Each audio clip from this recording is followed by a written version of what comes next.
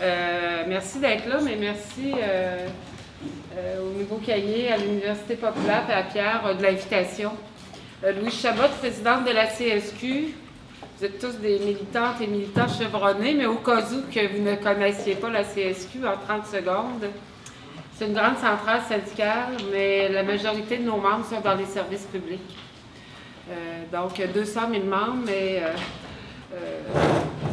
ce qui nous distingue, disons, de nos collègues de la CSN, de la FTQ, c'est que la CSQ n'a pas de représentation dans le secteur privé. Donc, majoritairement des membres de l'éducation, de la petite enfance jusqu'à l'université, des membres de la santé et des services sociaux, du monde aussi du secteur de la culture, des communications. Donc, tous des membres à la CSQ qui sont grandement malmenés par les politiques. Ah, wow! Je sont grandement menacés par les politiques, euh, les politiques de, nos gouvernements, j'oserais dire actuellement, tant au fédéral qu'au provincial, à l'égard des services publics. Je ne ferai pas une longue, il y a des questions bien précises auxquelles on est convié, je ne ferai pas une longue introduction sur la conjoncture. J'imagine que vous l'avez fait largement depuis le début des travaux. Mais quand même se dire une chose, c'est ce que j'ai dit aussi, euh, on a eu un congrès à la CSQ en juin dernier, le mouvement syndical actuellement, puis je dirais plus largement le mouvement social, euh, je, disais particulièrement nos militants, on a un rendez-vous avec l'histoire.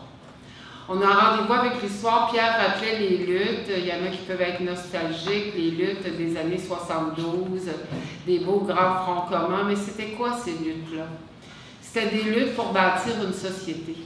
C'était des luttes pour bâtir un projet de société phare avoir des services universels, des services accessibles, des services pour l'ensemble des citoyens, l'égalité des chances, rehausser les conditions des personnes qui travaillent dans ces services-là, créer un État phare, un État régulateur, un État, une société finalement qui est là pour le service des citoyens, qui est là pour le service de l'ensemble, mais non pour le bénéfice du 1 C'est ça la lutte de 72. Bien sûr, il y avait la lutte des conditions de travail, des négociations des contrats, des, contrats collectifs, mais la trame de fond derrière ça, c'est de bâtir aussi une société, puis que la lutte syndicale aille plus loin que la seule lutte euh, représentative de ses membres, mais une lutte pour améliorer l'ensemble des conditions de vie de toute une société.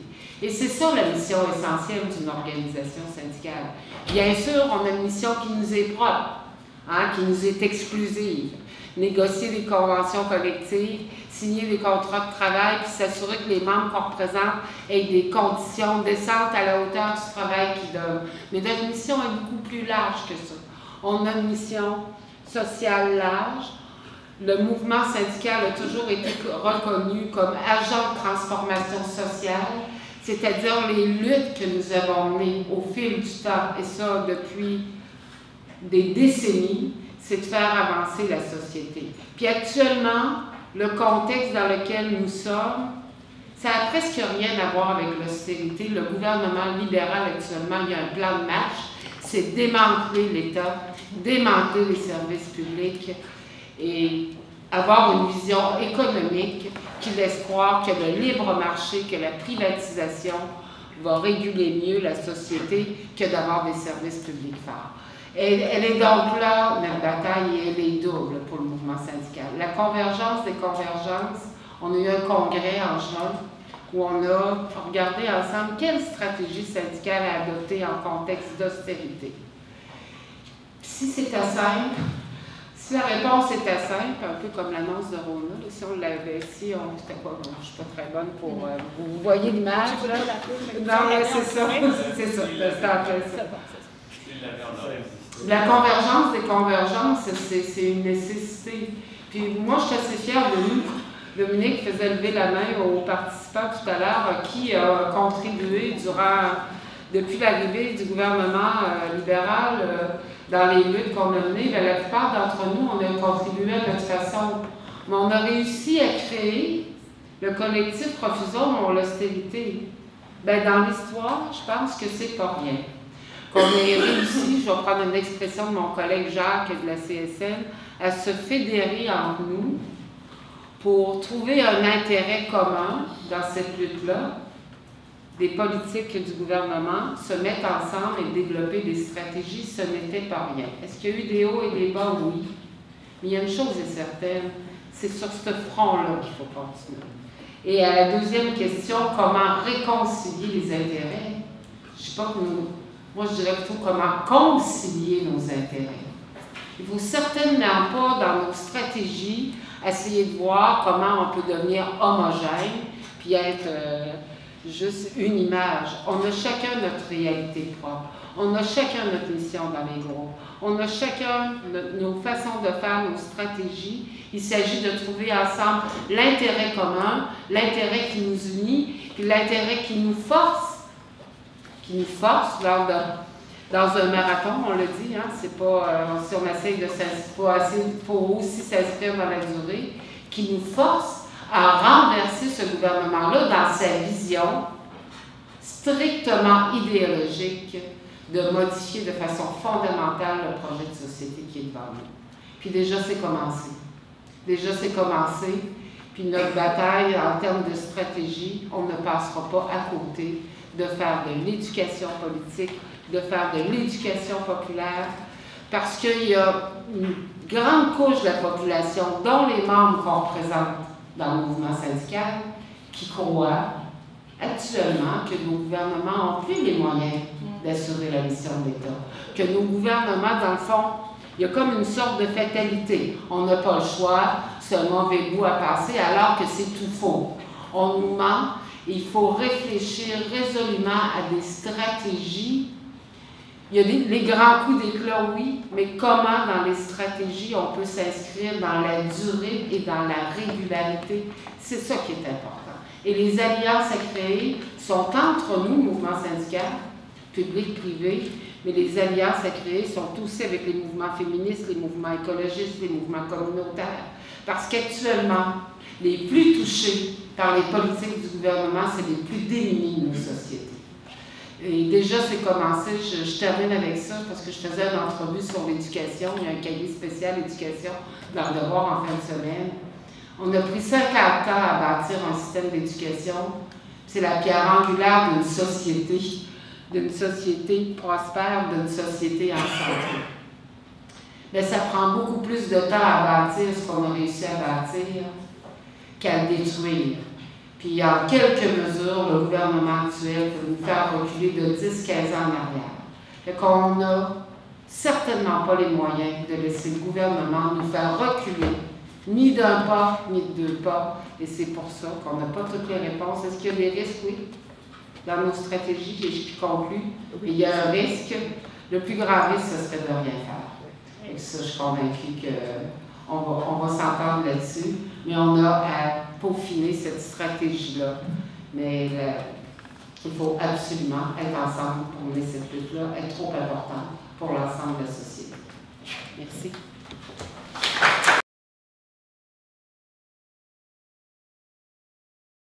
Bon, mais je, vais essayer de ne pas répéter tout ce que euh, Mme Chabot a dit.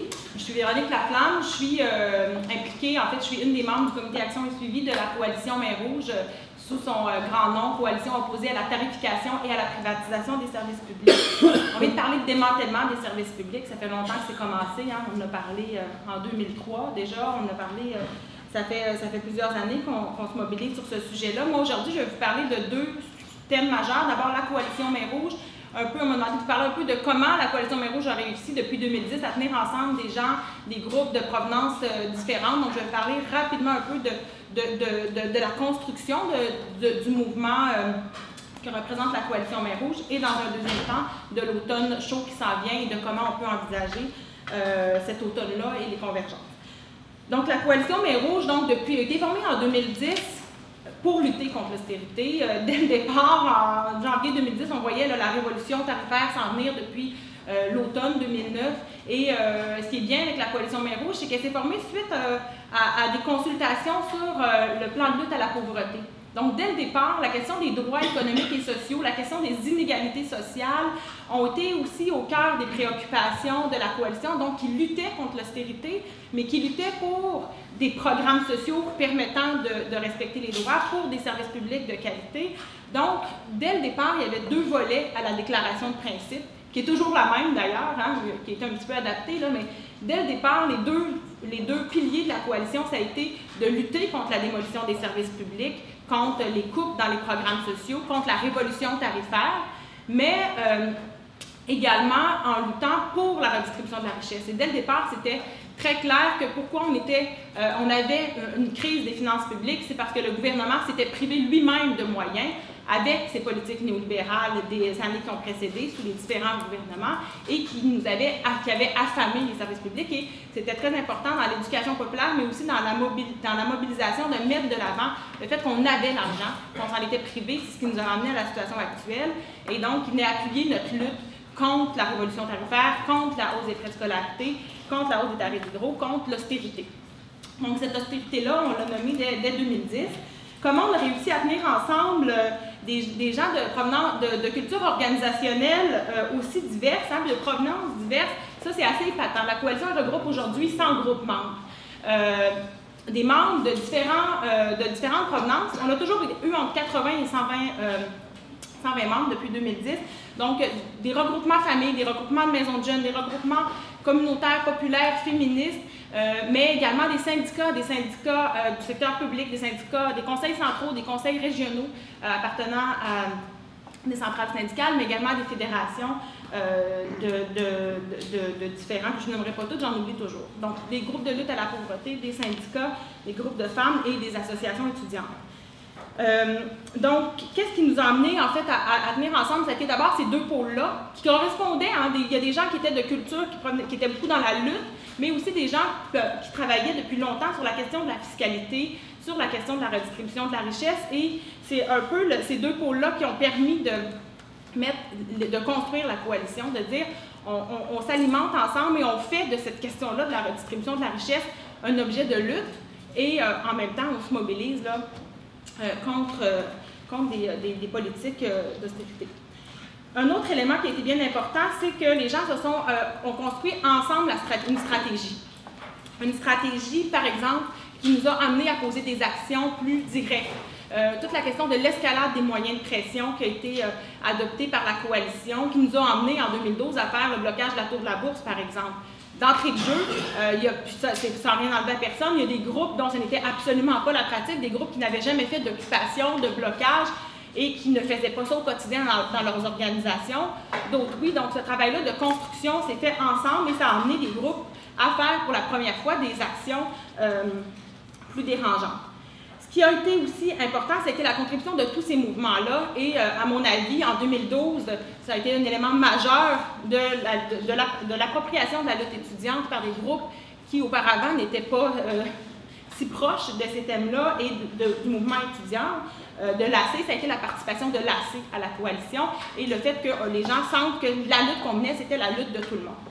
Et là, j'aurais bien d'autres choses à dire, mais on me fait signe qu'il me reste deux minutes. Donc, c'était les grandes lignes, l'appropriation du discours, l'adhésion qui a été construite et qui a culminé, je dirais, non pas en 2012, mais au printemps passé, avec une semaine d'action dérangeante en février où on a vu 800 actions. Et ça, c'est en l'espace de deux semaines, des gens qui ont, qui ont, vu que ça bougeait et qui ont dit, on peut faire quelque chose. Et là, les gens se sont dit, on est ensemble.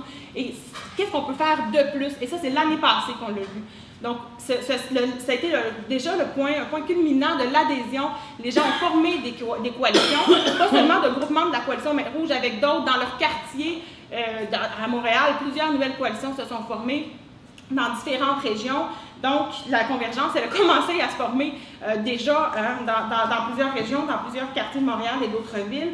Et on a vu aussi le 1er mai euh, un autre, une autre étape dans, euh, dans cette appropriation-là d'un discours qu'on était dans la même lutte. Les gens, que les, on a vu que les gens étaient prêts à sortir de leur zone de confort, à aller plus loin parce qu'il se passait quelque chose et qu'ensemble, on avançait. Et ça, moi, ça m'a euh, impressionné de voir le nombre de, des, des, groupes en grève, des gens qui ne voulaient rien savoir de la grève, tout d'un coup, en l'espace de deux semaines, passer à 800 groupes qui se mettaient en grève, des maisons de femmes, des ressources pour victimes de violences conjugales, euh, des maisons de jeunes, etc., des gens qui en avaient ras-le-bol. Et vraiment, là, on a vu l'imbrication des discours également, l'austérité, mais la question de la richesse, Euh, donc, euh, et là, à travers tout ça, je n'ai pas nommé la question de 10 milliards de solutions, mais vous savez que le fait que l'an dernier, on évolue de la lutte contre des mesures bien précises à la lutte pour la redistribution de la richesse comme objet de lutte, ça a été majeur. L'automne. Et là, Pierre m'avait, dit que j'avais 15 minutes. Là, je me suis préparée.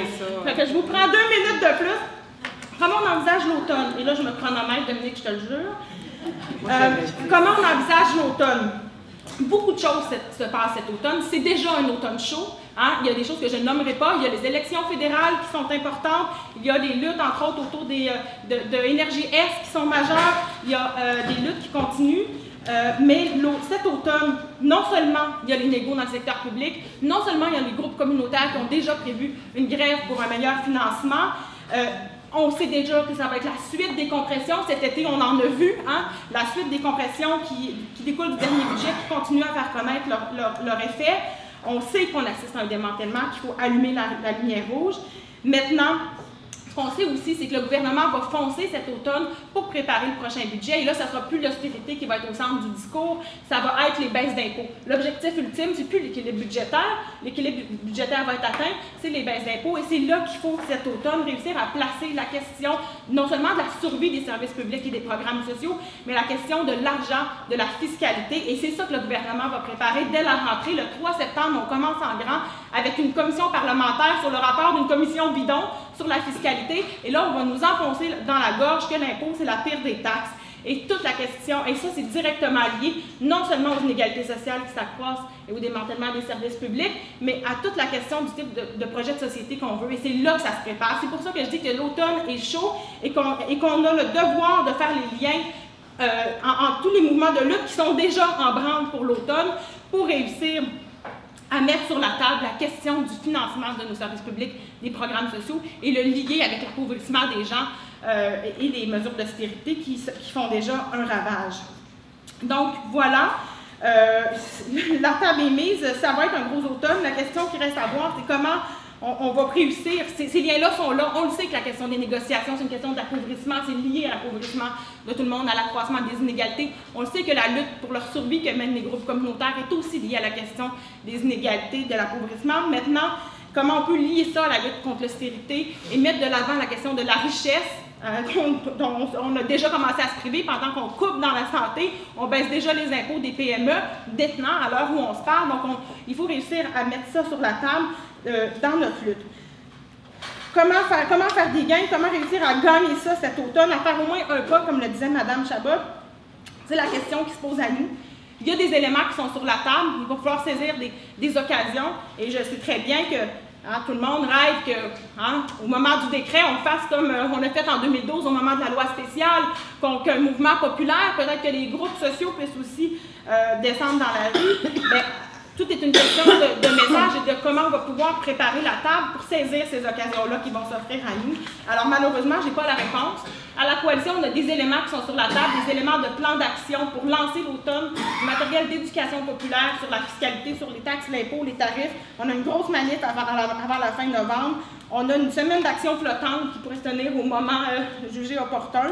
Et il y en a même, moi je travaille au FRAPRU, euh, c'est pas à la coalition qui a un mandat comme ça, mais dans les groupes comme le FRAPRU, il y a des gens qui se sont donné des mandats de grève sociale et qui vont déjà discuter des paliers euh, euh, dès la rentrée en septembre. Donc il y a beaucoup d'inconnus pour l'automne, mais il y a des occasions qui pourraient se saisir et en fait, je pense que c'est à nous, non seulement dans les mouvements euh, nationaux desquels on est membre, mais comme citoyens et citoyennes, comme membres de groupes, d'associations, de syndicats locaux, de voir comment on peut trouver le moyen de saisir ces occasions-là. Mais dans le message, ça se fait déjà. On regarde les syndicats de profs qui se sont mobilisés la semaine passée. Le message est déjà tout interrelié. On se bat pour la qualité de l'éducation, pas juste pour les conditions. Donc, j'aurais bien des choses à dire, euh, mais bonne discussion. Puis, euh, battons-nous pour gagner, ça peut se passer. Euh, dans un premier temps, euh, je voudrais insister, parce est-ce que des éléments des luttes passées, euh, est-ce que des acquis pourraient servir, je voudrais revenir sur le printemps 2012, et surtout la façon dont le mouvement étudiant a travaillé les alliances. Je pense que les leçons retenir. Cet automne, a des possibilités de convergence? Moi, je suis militante, militante dans mon école publique. militante au, à la CSDM, des enfants de parents. Alors, je voudrais parler un peu des alliances qui se font actuellement avec le mouvement syndical, Euh, c'est toujours fragile, je le sais, euh, Madame Chabot. Euh, on le sait, le gouvernement elle va essayer de nous diviser, mais on a peut-être des, des, pistes de solutions cet, cet automne, puis je pense qu'il faut y tenir. Et donc, oui, il y a des choses à faire sur le plan des convergences, notamment en haut primaire, secondaire. Et je voudrais revenir sur un élément important. je suis à l'UQAM, je suis président du syndicat. Je voudrais revenir sur ce qui s'est passé au printemps 2015. Il y a des leçons à tirer de ça. En printemps 2012, les bâtons n'étaient pas prêts. Au printemps 2015, le gouvernement est prêt. Et je pense qu'il faut analyser avec attention sur ce qui s'est passé à l'ICAN au printemps. Et c'est de ça dont je voudrais vous parler. Donc, les acquis des luttes précédentes, je ne vais pas revenir sur comment les étudiants ont travaillé la mobilisation, ont passé leur message. Je voudrais travailler comment ils ont travaillé les alliances. Ils ont travaillé les alliances au sein des établissements du cégep et. Ils sont allés chercher des portes, ils sont allés chercher des chargés de cours. C'est extraordinaire ce qu'ils ont fait. Ça a donné un mouvement important. Les profs contre la hausse. Il y a beaucoup de profs contre la hausse dans ça. Hier, euh, Simon se posait la question des profs contre la hausse, comment les syndicats syndicats réagissent avec, avec ça. Moi, je suis bien cool parce qu'ils sont maintenant dans les exécutifs syndicaux. Je suis d'accord avec ça. Ça donne du, euh, du haut Mais ils ont aussi travaillé des alliances avec les autres syndicats universitaires les employés du les profs, les chargés de cours, euh, les étudiants salariés. Puis ça, c'est du monde qui vient de toutes les centrales syndicales, des fédérations de toutes les centrales syndicales. Et comment est-ce qu'on fait, puis Dominique le disait, c'est évident de travailler, puis toutes les associations étudiantes, la FEUC, la TASEC et la C. Comment est-ce qu'on fait pour travailler dans un contexte comme ça? Et ça, ça veut dire qu'il faut faire des gains. Ça veut dire qu'en 2007 et 2009, on a fait des gains sur la gouvernance. On a, on a braqué, on, s'est battu contre les, projets sur la gouvernance qu'on voit en santé, puis tout, puis tout là, nous, on s'est battu pour le gagné en 2007-2009. On a appris à se connaître. Quand est arrivée la proposition de, de hausse des droits de scolarité, ben là, on s'est dit, hey, c'est pas vrai qu'ils vont nous imposer ça. Et là, notre outil, notre table de concertation, on a pris sept ans, sept ans, c'est un lapsus, sept mois, pour écrire un manifeste sur notre vision de l'université. On voulait une université libre, démocratique, publique. Et c'est avec ce projet-là, qui a été fait en 2010, qu'on a travaillé en 2012.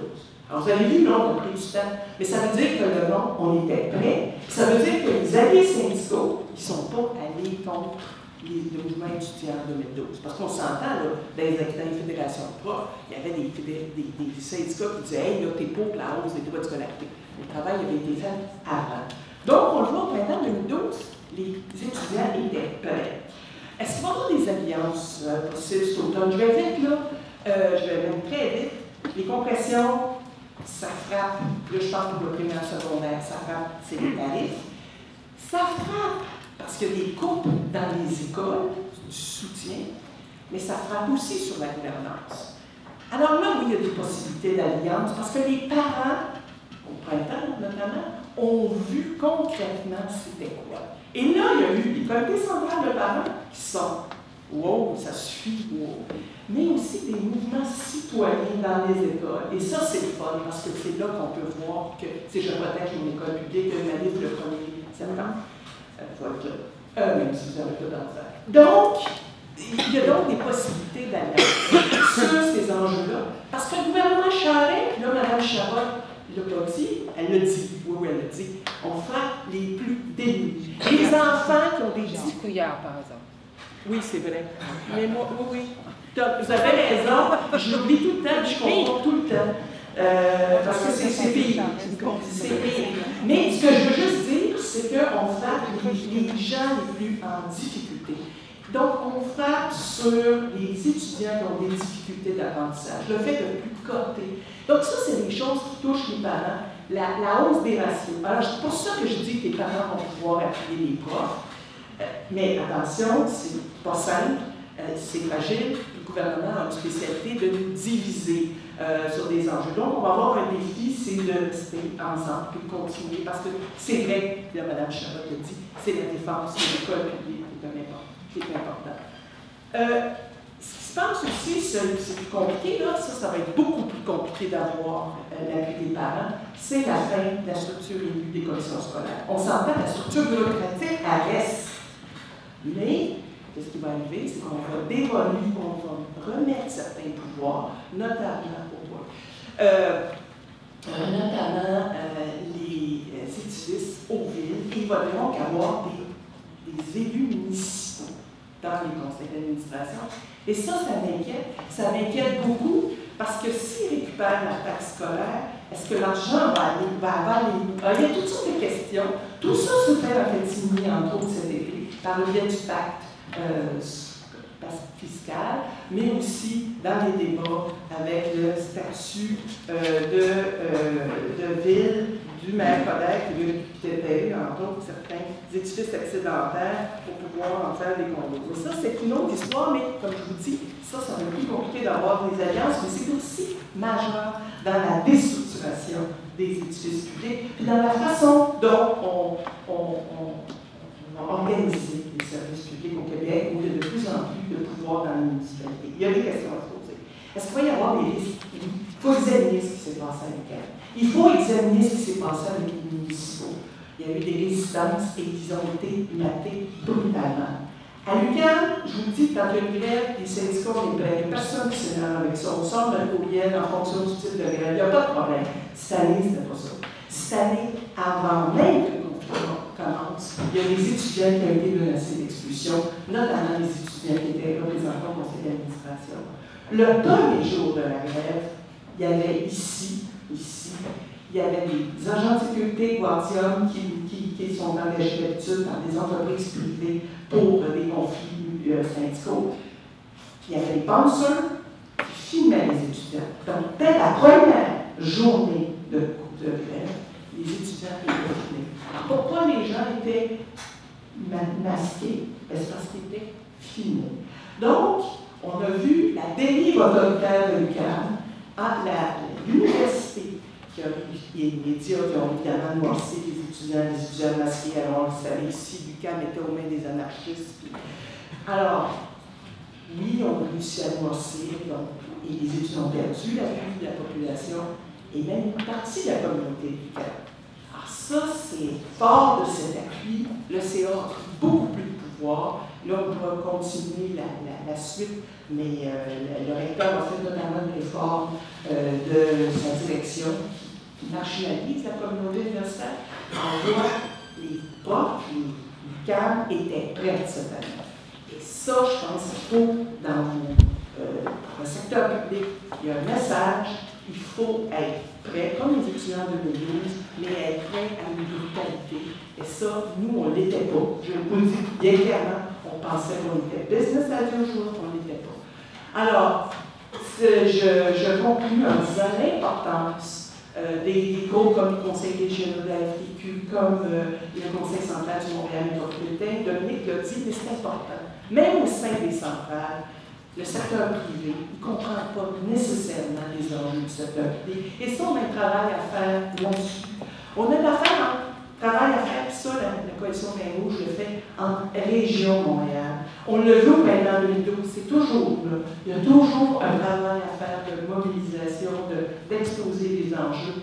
Et c'est dans la lutte, c'est par des manifestations qui se fait fortes ce matin quand Dominique a fait lever la main tout le monde que les gens se mobilisent, se sensibilisent. Puis oui, Mme Chabot a raison, puis euh, Véronique aussi, c'est la défense des services publics. Ça se fait à la pièce de façon insidieuse, et c'est ça l'enjeu majeur de faire comme au printemps 2012, d'exposer ces enjeux-là à, la population. Merci.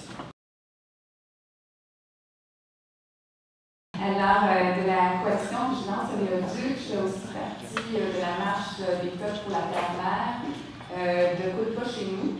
Euh, en fait, la fondation, la nouvelle fondation qui a été mise sur pied, euh, pas chez nous, avec la, la, belle de fonds qu'on a eue cette année. puis, je suis aussi membre fondatrice du collectif Le mot de femmes contre les oléoducs et les arbres bitumineux. je suis contente d'intervenir ce matin avant les ateliers parce que je voulais placer un peu en fait la question des luttes environnementales dans le mouvement dans tout ce mouvement-là qu'on essaie de créer, puis euh, vers cette belle convergence-là qu'on veut euh, mettre en place. Euh, le mot que j'ai entendu le plus souvent cette année, même je suis allée à une réunion d'un groupe qui travaille sur la question des sables bitumineux en Colombie-Britannique, puis c'était là aussi très à la mode, c'était intersectionnalité. donc, je, trouve ça fun qu'on euh, essaie de faire tous ces liens-là euh, cette année dans, les mouvements, notamment à l'intérieur de nos propres mouvements, puis ensuite vers les autres mouvements. Euh, D'ailleurs, dans le mouvement environnemental, présentement, il y a beaucoup de richesses, mais aussi beaucoup de défis dus à une multitude de, comment je dire, de réalités. Le mouvement est composé de, personnes euh, multigénérationnelles. Euh, il y a beaucoup euh, de, personnes allochtones et de personnes autochtones. Donc, on fait beaucoup, on travaille beaucoup la question de ces liens-là avec les peuples autochtones, puis avec les, personnes allochtones ou les personnes autochtones qui vivent hors réserve aussi. Il y a aussi, euh, euh, le mouvement est composé aussi beaucoup de, ben, en fait, de citoyens. Hein. Je pense que vous l'avez vu avec le mouvement de Coup chez nous, euh, la coalition Vigilance Oléoduc, le, le RVHQ, le regroupement Vigilance Hydrocarbures Québec. Donc, ça, c'est des groupes citoyens très actifs sur le terrain. Et, mais aussi les grandes organisations environnementales dans la, dans la lutte présentement, notamment, en fait, cette année, on a beaucoup axé sur la lutte contre les oléoducs, le, le, transport des hydrocarbures euh, par les différents modes de transport, train aussi, est venu euh, se mettre sur la sellette, puis aussi la question du transport par navire. Euh, puis, en fait, aussi la, toute la question des sables bitumineux et l'exploitation des hydrocarbures, donc au Québec notamment, mais aussi les sables bitumineux qui viennent de l'Alberta. Alors, c'est pas mal notre grand terrain de lutte cette année. Euh, euh, puis en fait, euh, une des questions qui me vient quand je, je vois comment on a travaillé fort, puis comment on essaie de construire des ponts avec les autres luttes. Notamment cette année, il y a, des ponts qui ont été créés sur la lutte avec, contre l'austérité, aussi avec le mouvement des femmes, comme je disais aussi avec le mouvement autochtone. Euh, mais comment faire pour travailler ces alliances-là dans l'urgence? Parce que souvent, en fait, euh, on, essaie de suivre l'actualité, euh, tout ce qui se passe dans, les, différents projets.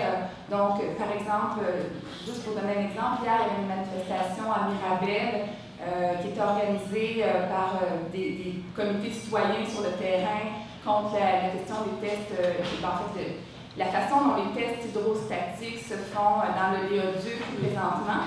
Et euh, euh, la, manifestation s'est organisée en l'espace de quatre jours. Donc, comment on fait dans, cette, toute cette urgence-là pour à la fois lutter sur le terrain puis créer des ponts avec les autres mouvements et le faire dans l'intersectionnalité? En tout cas, tout ça, c'est pas mal un des enjeux présents. Euh, ensuite, je voulais aussi dire, euh, ben, les trois champs de lutte euh, cet automne, au niveau plus de lutte en profondeur, je dirais, c'est la lutte contre l'austérité, évidemment les élections fédérales, et puis aussi, on a la conférence de Paris sur les changements climatiques qui s'organise, donc la COP 21. Euh, donc, les, mouvements environnementaux, c'est pas mal leurs trois euh, de lutte présentement, euh, à, la fois en faisant ça et à la fois en luttant sur le terrain contre tout ce que je vous ai dit là. Alors, ça, ça, mobilise vraiment beaucoup.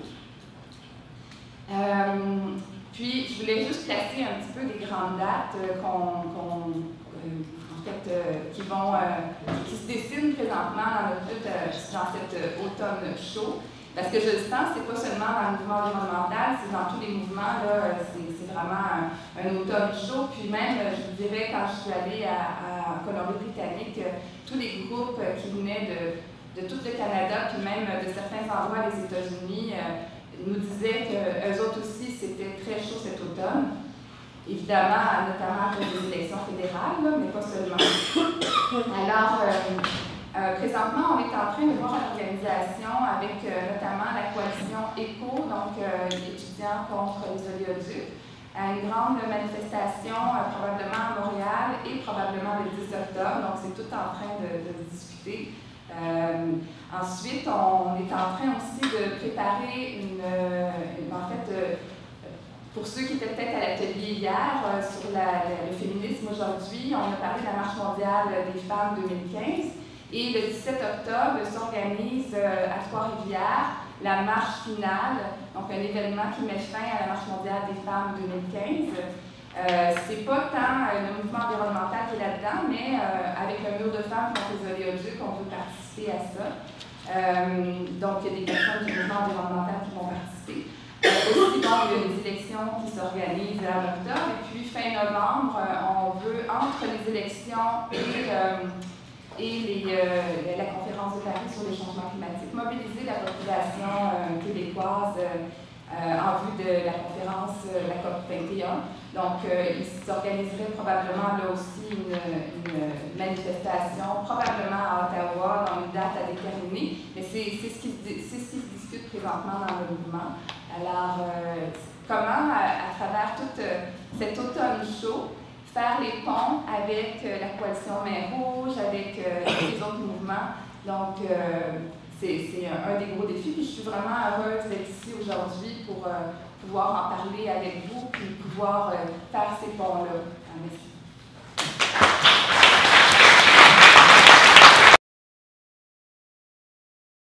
Je m'appelle Corbin Russell, euh, je travaille avec euh, Defenders of the Land, je veux souligner ça. Je ne sais pas où cette faute, euh, cette faute est venue, mais ça s'appelle pas euh, Sons of the Land. Uh, Defenders of the Land et En fait, je ne savais pas qu'il n'y aurait pas d'interprétation. Alors, j'ai tenté de parler en français, mais si ça devient pénible, je vais changer en anglais.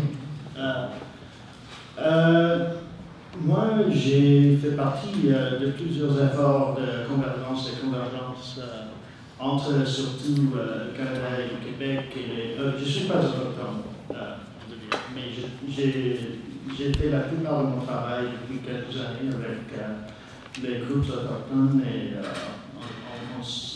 in this area. Um, mais euh, je vais je vais commencer par euh, commenter un peu sur euh, les possibilités de convergence entre le Canada et le Québec. Um, sur la question de l'austérité, je pense qu'il y a peu de chance au Canada parce qu'on n'a pas pris conscience de ça. je ne sais pas pourquoi, mais euh, cet enjeu n'est pas levé dans la conscience populaire, euh, comme au Québec.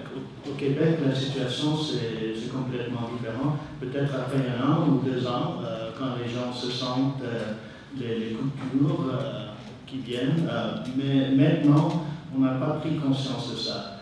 Il se peut que une cause de ça, c'est la situation avec les syndicats. et les syndicats au Canada, leur stratégie est toujours liée au NPD. C'est une stratégie électorale, alors euh, ils ne veulent pas risquer euh, faire des alliances avec des mouvements sociaux qui peuvent euh, gêner, qui peuvent embrasser le NPD. Et ça, c'est quelque chose qu'on rencontre toujours quand, on tente de faire des alliances avec les syndicats au Canada. Euh, mais aussi, je pense que, euh, évidemment, il y a une histoire euh, différente, complètement différente au Québec. Et pour ça, il n'y a plus de militantisme, il n'y a, plus de politisation dans le mouvement syndical.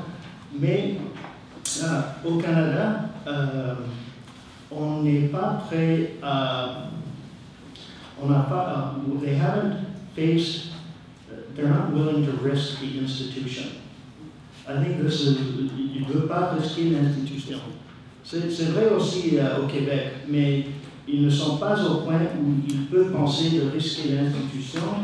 Uh, Et alors, ça, c'est une limite à la politique euh, qu'on va faire dans les syndicats. On, on, doit être prêt à risquer l'institution, le personnel doit être prêt à perdre leur, leur bon salaire. Et sans ça, on ne peut pas avoir un mouvement syndical militant. Pas à ce point-là. Uh, so, that's, those are two problems. The ties to the New Democrats, and they don't feel like the moment of, uh, they're not, their backs are not against the wall. So, until they feel that, uh, they're not going to engage in a real social strategy, and at that point, it may be too late. Um, aussi à cause de l'histoire différente ici au Québec, euh, on a une culture euh, de coalition, de, de faire euh, d'alliances plus formelles qu'on a peut-être perdu au Canada. Alors c'est difficile pour nous de, construire ces alliances comme la coalition de la mer Rouge, et on a tenté plusieurs fois, mais sans, succès. Mais euh, je pense que la chose la plus importante, c'est que les organisations doivent être prêtes à mettre à côté leur propre, enjeu. Par exemple, dans, dans le moment euh, de la grève étudiante, il y avait des organisations qui étaient prêtes à mettre à côté leur, propre enjeu pour s'engager dans la grève étudiante, dans la lutte. Mais il faut faire face aussi euh, au fait que Euh, après la, la, grève étudiante, euh, on a découvert les limites des stratégies euh, anti-austérité dans un contexte où on n'a pas d'instrument qui peut, euh, qui peut défier, qui, qui peut can challenge the neoliberal state. So we need a political instrument. We don't know what the political instrument should be like. It should not be like the ones, in my opinion, that we've already heard about and talked about. We need something new. We don't have this. Uh, alors, sans ça, uh, on peut parler plutôt uh, d'un réchauffage, pas, une attention, mais un réchauffage des enjeux, une lutte défensive. On est toujours au, au moment d'une lutte défensive. Et ça, c'est la limite de nos politiques maintenant. Et je trouve qu'il y en a deux ou trois exceptions. La première, c'est la lutte euh, environnementale, surtout euh, sur ce, cette question du climat. Et maintenant, il faut dire que le marché est en avant des mouvements. C'est très populaire de dire maintenant que la crise du climat, c'est une crise euh, du capitalisme, mais le marché est en avant de nous. Les solutions viennent très vite Uh, the, the cost of solar power is falling very quickly. Investment in renewable energy last year, for the first year, exceeded investment in fossil fuels. The market is finding a way to appropriate the climate question. Um, mais nous, euh, nous connaissons, nous savons que, que le capitalisme n'est pas euh, régler l'enjeu de l'environnement finalement, il faut s'adresser à la question euh, du capitalisme, mais maintenant, on n'est pas prêt à faire ça. Uh, second question, I'm going to do this just to go quicker. The uh, indigenous question in Canada. This poses a fundamental question uh, of our relation to the state, our relation to the land, our relation to history, um, it poses fundamental questions in Quebec, in Canada, and if we can succeed in building links and relationships, and I think one of the things you said about building relationships uh, is one of the most important pieces of work. One has to take the time to do that in order to do this work. And there's no quick, we can't do it by autumn this year. We have to spend the time. Um, but if we do that, then I think there is a potential for a transformational politics within the Canadian state, within Quebec. And so to me, that's an area where, and I was, j'étais très impressionné euh, par euh, la séance vendredi, vendredi, le vendredi, parce que c'est la première fois euh, dans la gauche euh, québécoise que j'ai vu euh, cet enjeu mis à première place.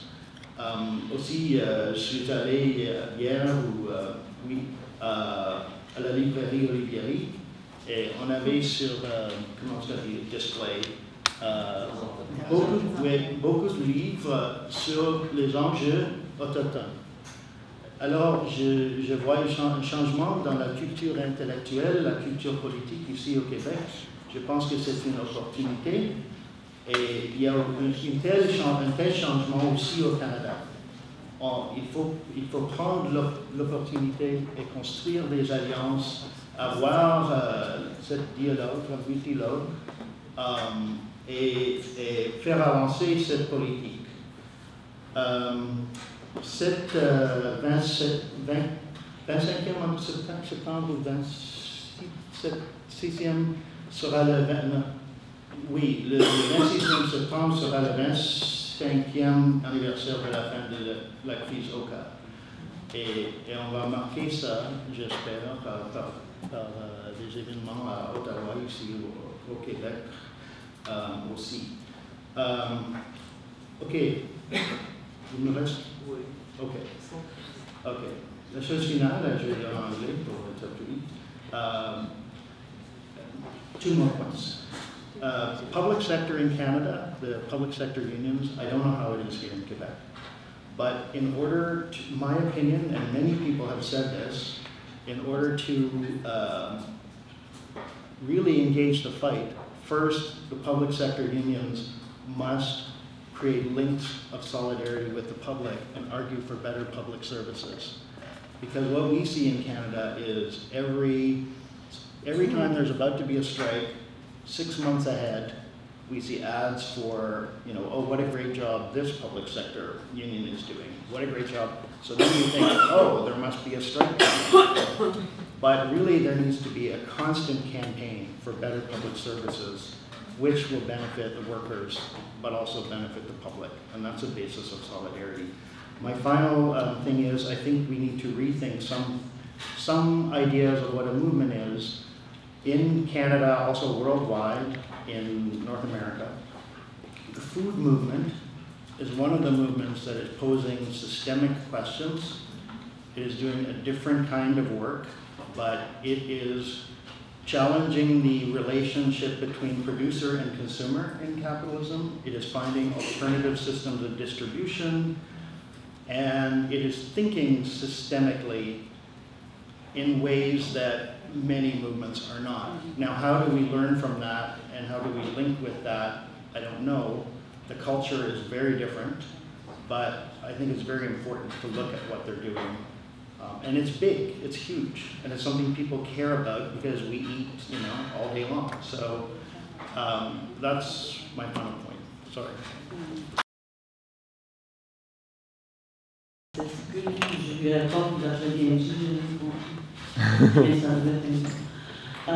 Jourdain de la communauté de Ouachat, Inou. Dans ma région, il y a un beau projet d'une mine assez ouverte, Minahu. Euh, nous, nous, Conseil de langue, signe des ententes minières.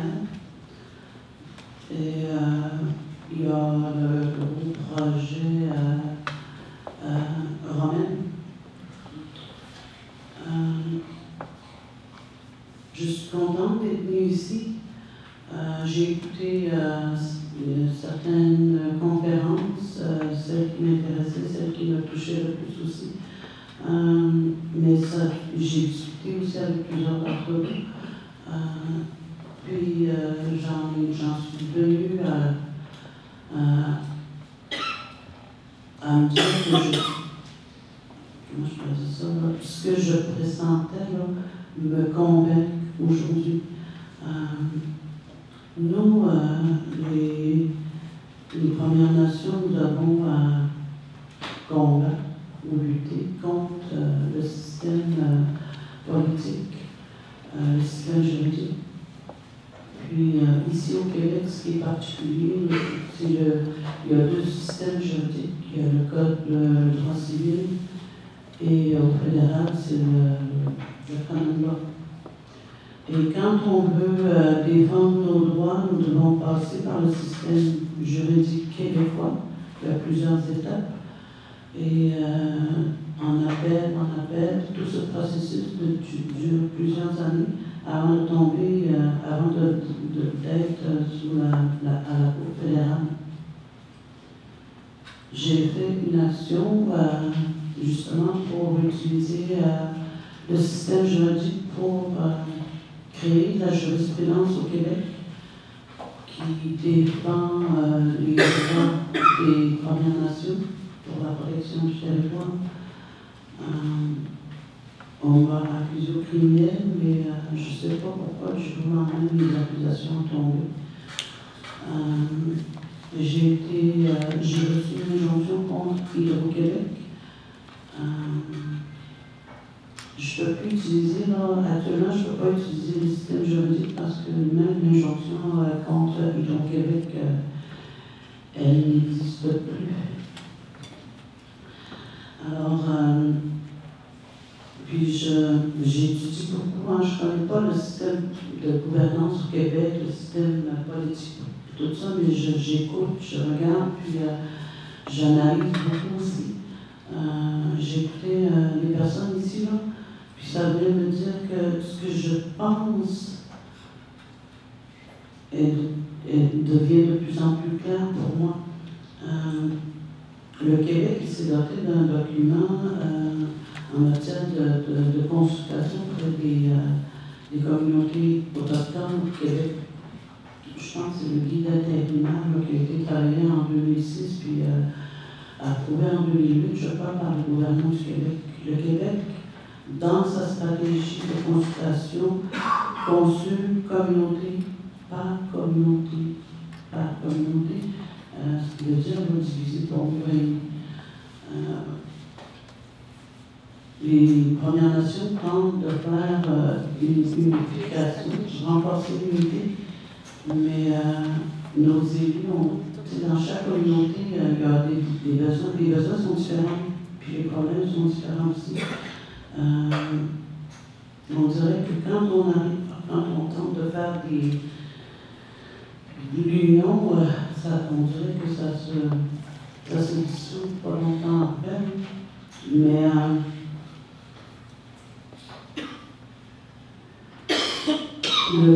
pour première des choses, on n'a jamais vendu ni cédé nos terres ancestrales, ce qui veut dire que le Québec ne peut pas affirmer son, sa souveraineté territoriale. J'ai demandé à voir, à consulter un document juridique qui dit que le Québec est propriétaire du territoire. Euh, la lutte, elle est là. Mais euh, le, la lutte, le Québec les provinces au Canada sont touchées par l'obligation de consulter. Dans le jugement AIDA, ça le dit.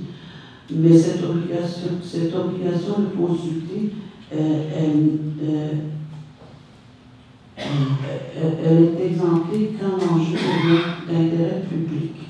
Puis je, je, je constate, le plan Nord, ça va devenir un enjeu d'intérêt public puisque la politique d'autorité fait aussi la stratégie à couvrir le Québec pour que ça devienne un enjeu d'intérêt public, puis le Québec, le Québec aura besoin du plan Donc, il s'exemple l'obligation de consulter les Premières Nations. Euh, dans le jugement AIDA, ça dit aussi euh, les Premières Nations peuvent euh, convertir leurs droits ancestraux euh, de la façon qu'ils veulent convertir les droits ancestraux. Ça fait partie le droit de pêcher, le droit de chasser, le droit d'occuper le territoire, le droit de, de, cueillir euh, les petits fruits sauvages, le droit de, des pratiques religieuses. quand nos conseils de vente signent des ententes dites économiques, mettons, euh, une compagnie minière signe une entente avec notre conseil de vente, il y a toujours un champ d'application de, de l'occupation de, de, de, la compagnie minière. Et nous, on renonce à nos pratiques traditionnelles sur le site de la compagnie minière, parce que la compagnie minière est détruite territoire. Ce qui veut dire que moi, quand j'allais pêcher sur le site autour de, la compagnie minière, je ne peux plus.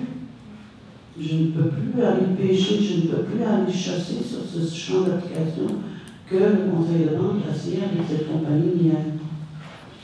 Ce qui veut dire que on vient de convertir nos droits ancestraux. On les rend monnayables.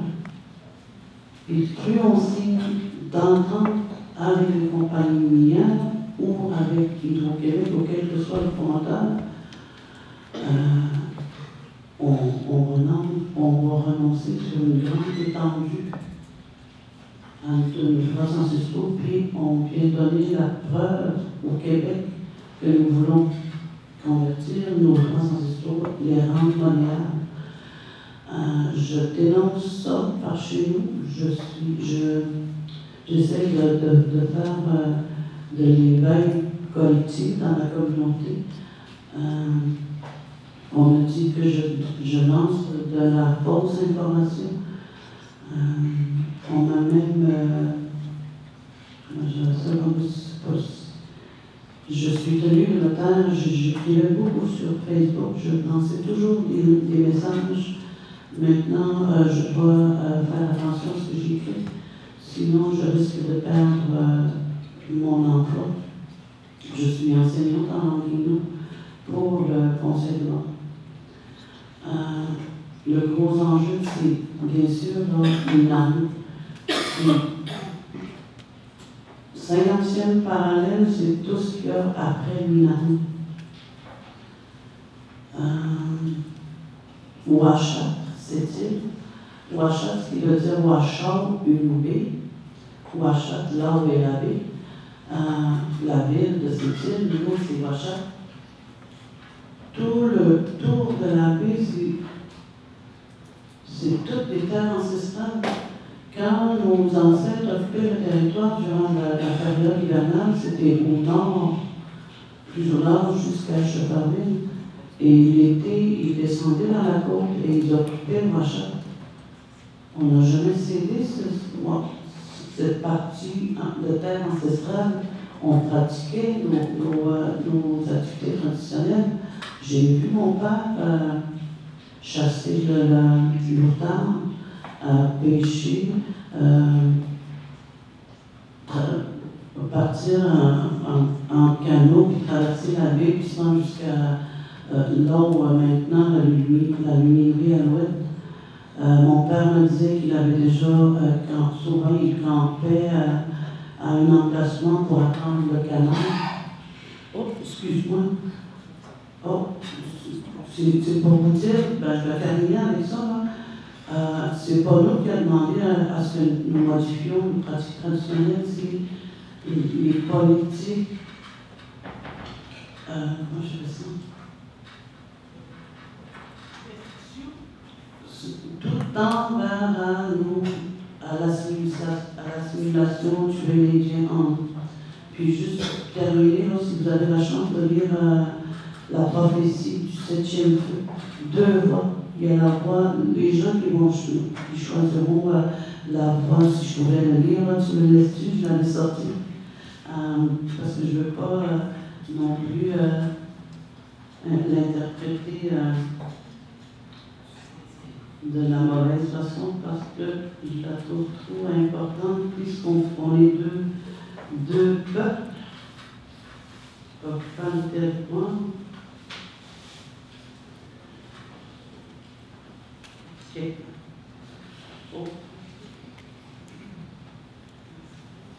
Les professions amérindiennes disent que les, métis et les blancs qui laissent pousser leurs cheveux longs et portent des colliers viendront vers les guérisseurs indigènes, demanderont des directives. Les prophéties disent qu'ils reviendront comme le peuple de l'arc-en-ciel. dans les cordes de différentes couleurs, rouge, blanc, jaune ou noir. Les anciens ont dit qu'ils reviendront et suivront pour aider à restaurer l'équilibre de la terre. L'histoire de ces guerriers de l'arc-en-ciel est racontée par plusieurs peuples de plusieurs manières différentes. Nous sentons que nous sommes maintenant en cette époque où les guerriers de l'arc-en-ciel arrivent. C'est donc un temps où nous devons reconnaître que nous sommes tous des êtres humains sur la même planète. Et c'est et c'est ce en quoi consistent les guerriers de l'arc-en-ciel. Ça doit être l'auteur, auteur du septième feu, un nouveau peuple émergent. Ils retraceront leur pas pour retrouver la sagesse qui a été laissée derrière le long de la route il y a longtemps. Leur pas les mèneront vers les anciens, auxquels ils demanderont de les guider dans leur voyage. Si le nouveau peuple demeure fort dans sa quête, le tambour sacré de nouveau entendre sa voix. Il y aura un éveil de gens et le feu sacré sera de nouveau allumé. En ce temps la race à la devra choisir entre deux voies. Une des voies est la voie de la l'avidité et de la technologie sans sagesse, ni respect pour vie. Cette voie représente une course à la destruction. L'autre voie est la spiritualité, un sentier plus, plus lent impliquant le respect pour toutes les choses vivantes. Si nous choisissons le sentier spirituel, nous pourrons allumer encore un autre feu. Le huitième feu commencera une longue période de paix et de croissance. C'est avec ça que je vais vous laisser. Ça m'a beaucoup. Euh, comment je peux dire ça? Pour ce qui est des luttes, probablement que je vais retourner euh, dans ma région. Vais faire une autre action, euh, même si je je risque ma vie ou mon emploi, je suis prêt à aller euh, au bout de la lutte contre le plan et euh, Milano.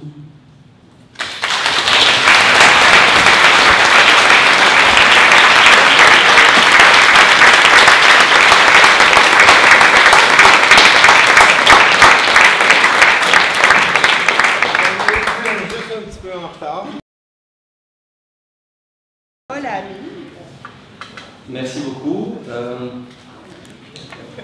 je dois aussi quand même euh, les organisateurs de cette école d'été pour avoir euh, si audacieusement intégré les intervenants politiques, les porte-paroles politiques à les discussions qui intéressent et, qui concernent beaucoup les mouvements sociaux, les syndicats. Évidemment, je le dis un peu aussi pour taquiner parce qu'on sait que euh, un peu comme je l'ai mentionné hier pour ceux qui étaient là, il y a quand même euh, un certain nombre de, euh, complexes historiques qui ont, fait en sorte que les mouvements sociaux, le mouvement syndical, on sait par exemple cette dynamique-là est très présente dans le mouvement étudiant, notamment en particulier du côté de l'EC.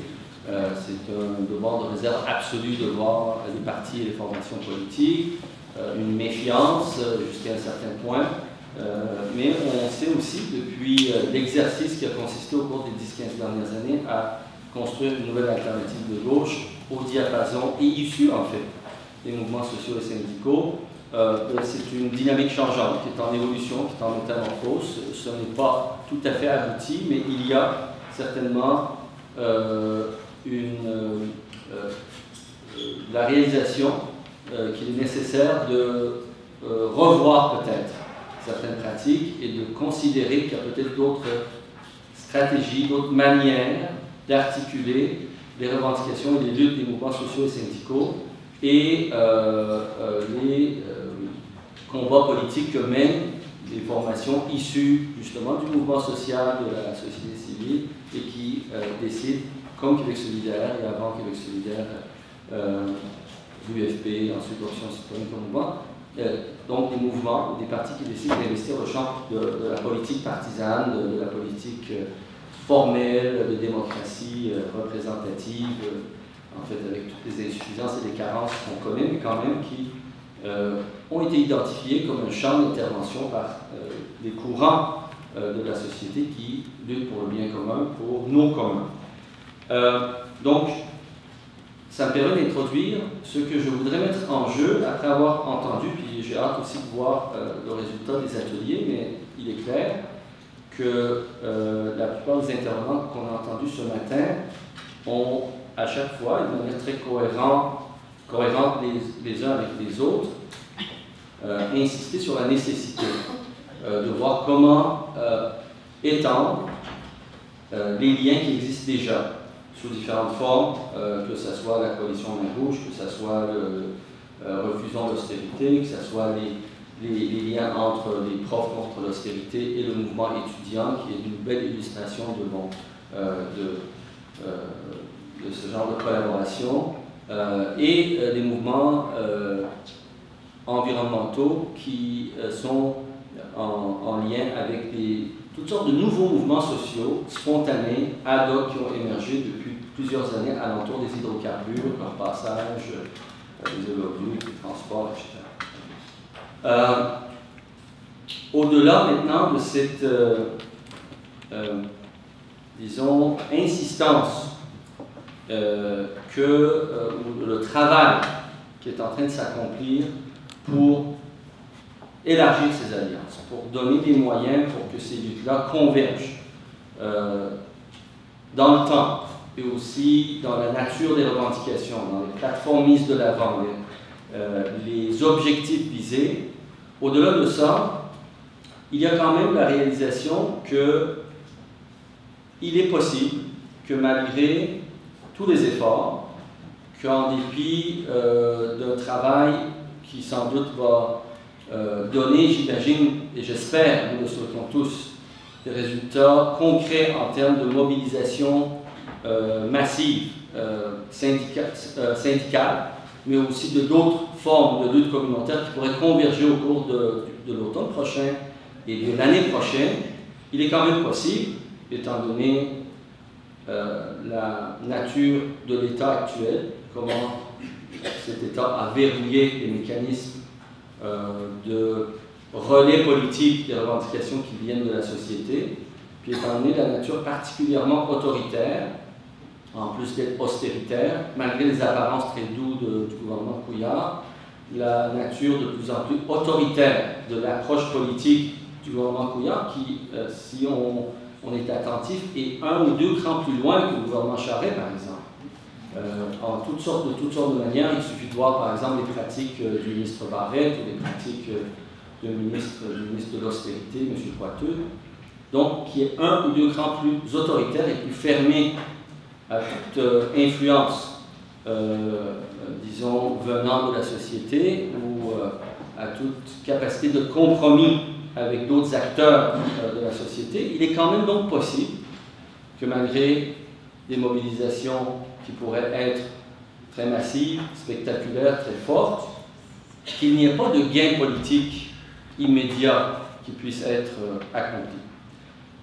qu'il n'y ait pas que comme en 2012, euh, d'ailleurs, avec le mouvement étudiant, qui a été euh, sans doute une des mobilisations les plus, euh, plus fortes et les plus dérangeantes pour l'État au pouvoir et pour la structure du pouvoir, que ça ne se traduise pas par un, une reconnaissance immédiate des revendications, leur traduction en politique, en changement de politique.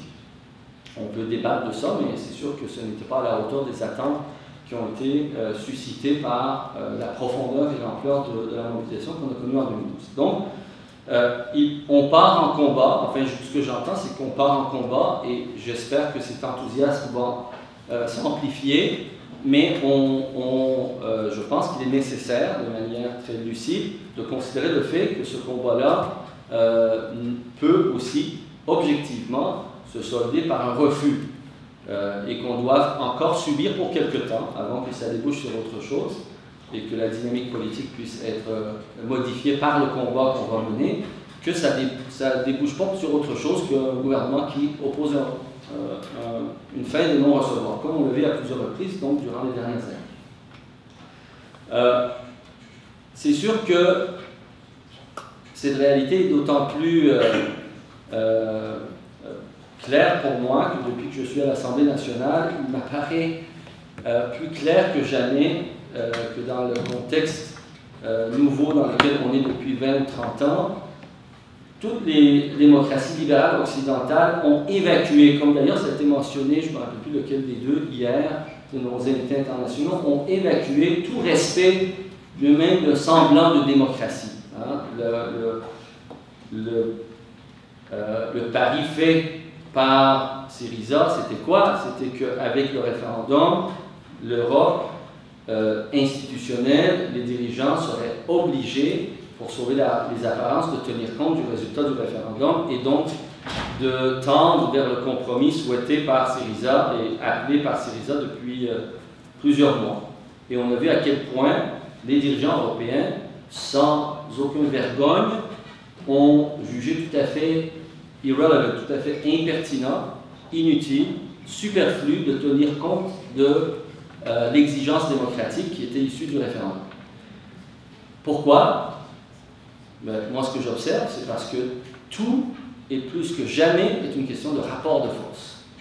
C'est, euh, et, c'est assez d'ailleurs, euh, je pense, cohérent avec l'observation qu'on fait du délitement démocratique, même les, les faibles qualités démocratiques du modèle de démocratie occidentale, ces qualités-là ont été depuis longtemps perdues et il n'en reste que des apparences et parfois même aucune apparence, comme ça a été le cas avec Syrie. Et donc, la chose qui doit se poser, la question qui doit se poser à chaque fois les couillards et les coiteux de ce monde, lorsqu'il y a des propositions qui sont faites sur la place publique par les mouvements sociaux, les mouvements syndicaux, ben, c'est de demander, ben, ben oui, c'est très beau, c'est très bon, mais de ce pape a combien de divisions? Hein, De combien de divisions? Rappelez la boutade de Staline lorsqu'on voulait que le pape soit de la table des rencontres au sommet entre les Alliés contre les Allemands. Ben, Il se posait la question pourquoi le pape doit être Combien de divisions jouit-il?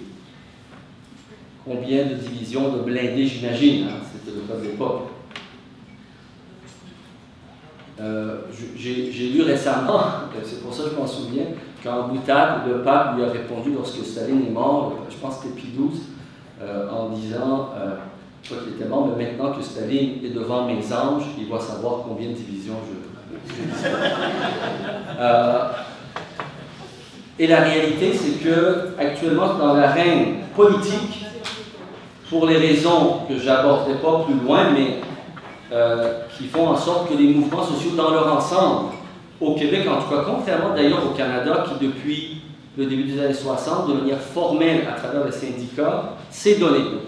Ce que ça a donné par la suite, les, euh, les différentes difficultés rencontrées, c'est autre chose, mais de manière formelle, le mouvement syndical, à tout le moins, puis une grande partie aussi du mouvement social communautaire, s'est donné sans se cacher, de manière formelle, avec des mécanismes et des relais institutionnels, un relais politique. Le Québec, les mouvements sociaux, pour différentes raisons qu'on peut contester ou pas, ont choisi d'autres voies.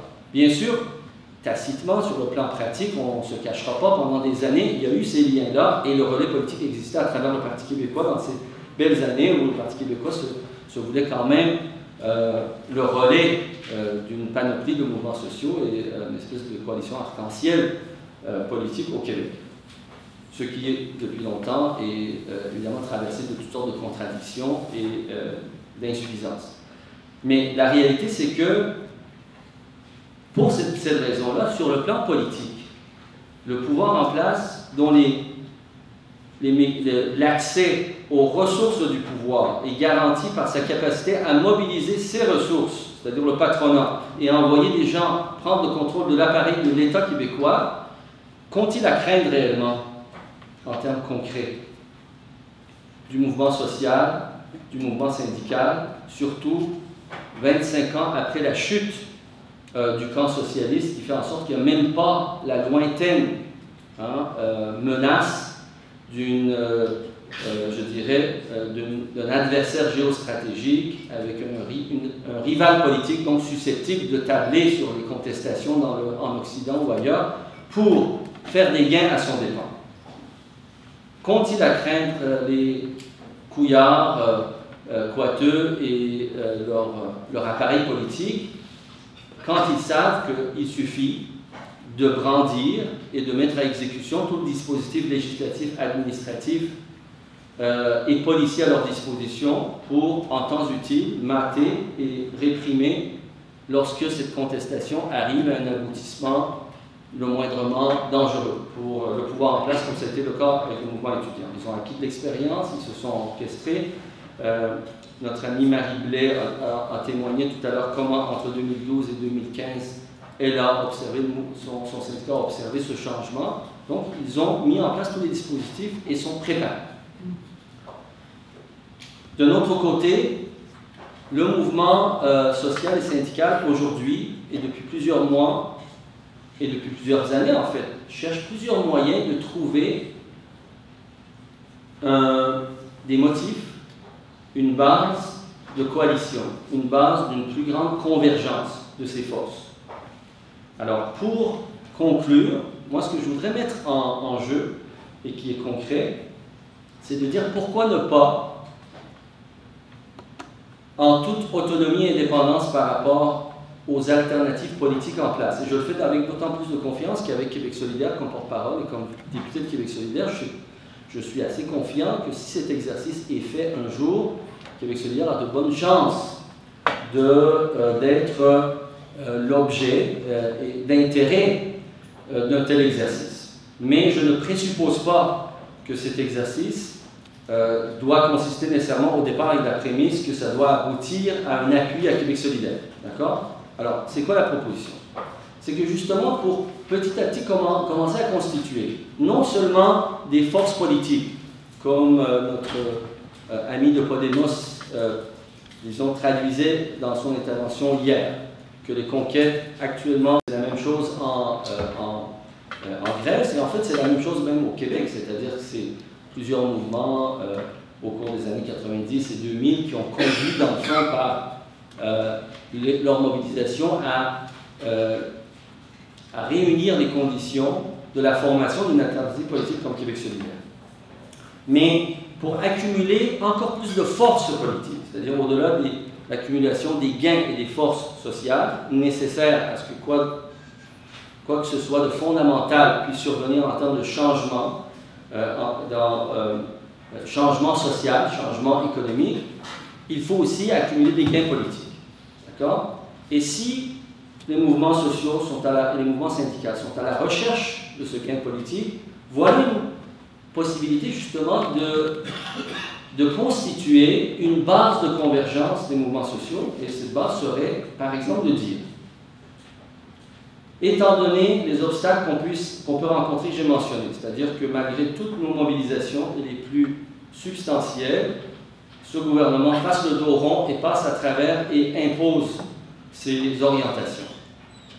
Quelle est la prochaine échéance dans laquelle le mouvement social peut assainir un coup et faire occasionner des brèches ou défaire ce qui a été fait par ce gouvernement et ses prédécesseurs? C'est l'échéance politique de 2018, en tout cas comme un premier jalon.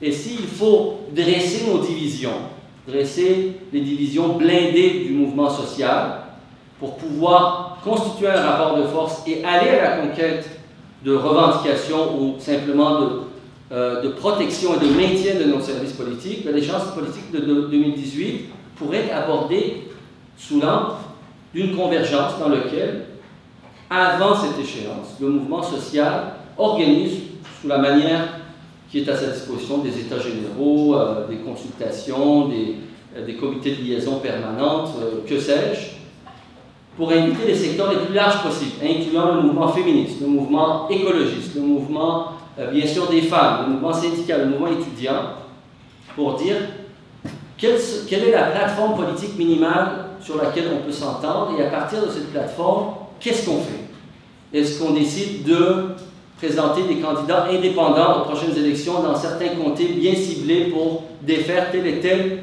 symbole de, euh, des gouvernements néolibéraux successifs Ou est-ce que, entre le Parti québécois, je prends ces exemples-là, le Parti québécois, Option nationale, Québec solidaire, parce que j'imagine le choix ne peut pas être porté normalement sur, euh, sur le PQ, ou le, euh, je veux dire le, Parti libéral ou la CAQ, en tout cas en apparence, le PQ sera encore là-dedans, ou le Parti vert à la limite du Québec.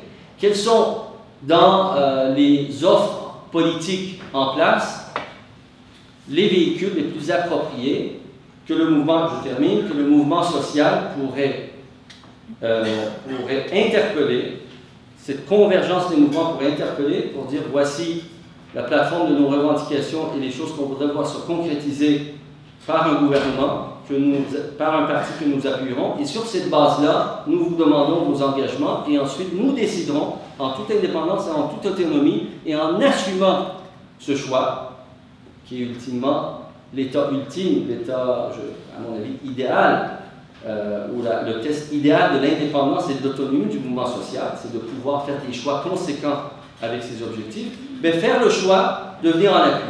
Et dans l'intérim pour le tester, vraiment c'est la fin, je vous signale qu'il y a une élection partielle au, au minimum qui vient d'être annoncée avec la, démission de Marguerite Blais. Il se peut, là je ne vais pas prendre de décision à la place de M. Jean-François Lisée, mais je le dis ouvertement, il est, très clairement question dans les cercles politiques qu'avant très longtemps, M. Lisée aussi part. Alors il y a deux élections partielles au moins à la portée des mouvements sociaux pour dire voici, on va mettre au test ce, euh, disons, cette avenue. On s'entend, on fait une coalition, on établit nos exigences, puis on appuie en vertu de ça tel et candidat, on fait la démonstration au pouvoir politique que lorsqu'on se mobilise et lorsqu'on décide d'investir directement le champ politique, avec évidemment les limites institutionnelles que ça impose, parce qu'il y a toutes sortes de manières de le contourner, comme le fait le patronat d'ailleurs très bien. Il suffit d'apprendre un peu de nos adversaires, de faire une démonstration de force, de dresser les divisions symboliques nécessaires pour obtenir les gains politiques, l'accumulation des forces politiques dont le mouvement social a grandement besoin pour la reconquête du pouvoir social. Merci beaucoup.